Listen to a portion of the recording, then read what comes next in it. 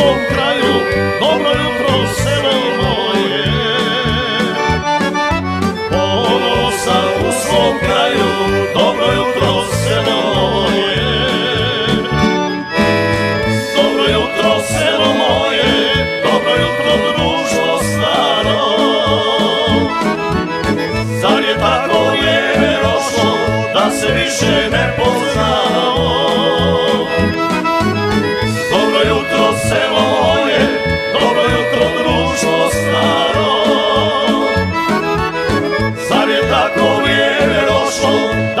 Da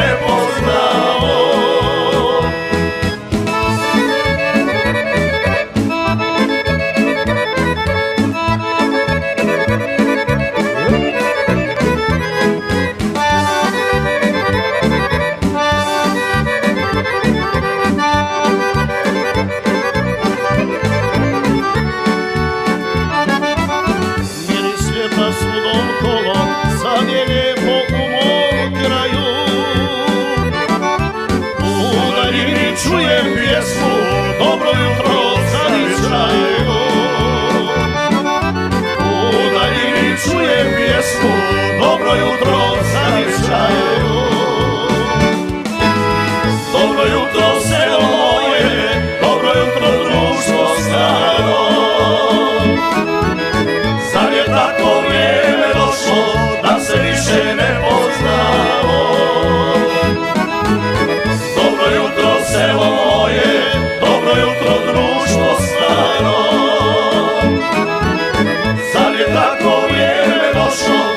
se više ne poznao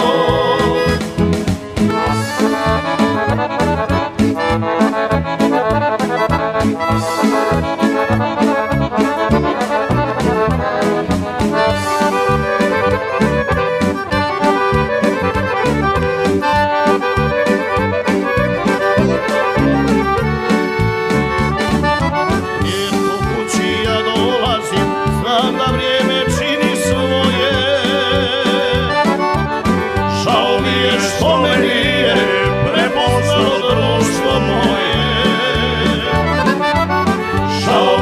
što me nije prepoznalo društvo moje. Dobro jutro se moje, dobro jutro društvo staro.